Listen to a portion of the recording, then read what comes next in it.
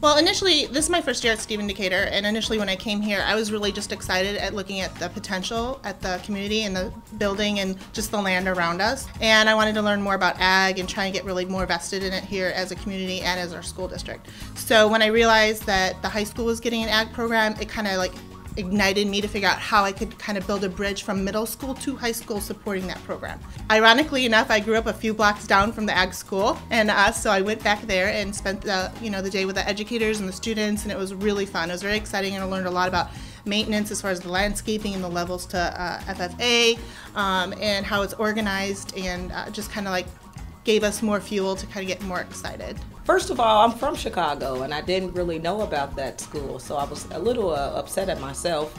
Um, but I was so surprised with the dedication the students showed, the, the dedication that the staff has, and they're just so invested not only in agriculture but making sure sure students are successful throughout, you know, um, the building. So it was very refreshing actually to see students who wanted to learn and, and, and not afraid to be invested in their education and particularly in that aspect of agriculture.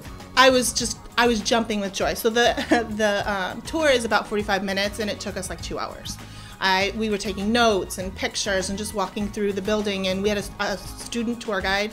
Um, and we sat through a couple classes, and the professors or the instructors were amazing. And um, the horticulture instructor there, her and I are talking, and I'm actually going to go back there uh, at the end of our school year for a week to kind of shadow her and see how she maintains the, the gardens and, and uh, the landscaping stuff. It really gave us the idea of how we can also partnership with the high school in this endeavor, um, making a, a, component here in the middle school to kind of help students segue into the high school's program. So really we're just trying to complement what's already um, being established and want to make sure that we're a partner in that and um, it really has me thinking about what we can add each year as a component to this, and maybe we can run our own, uh, not only greenhouse, but run some, sell some plants and fruits and vegetables uh, for the community. So it, it can be much larger than just what we're doing here at Stephen Decatur. For me, I really think that it's going to be great for our kids. Um, I have kids right now coming in in the morning before school starts helping me with the greenhouse. So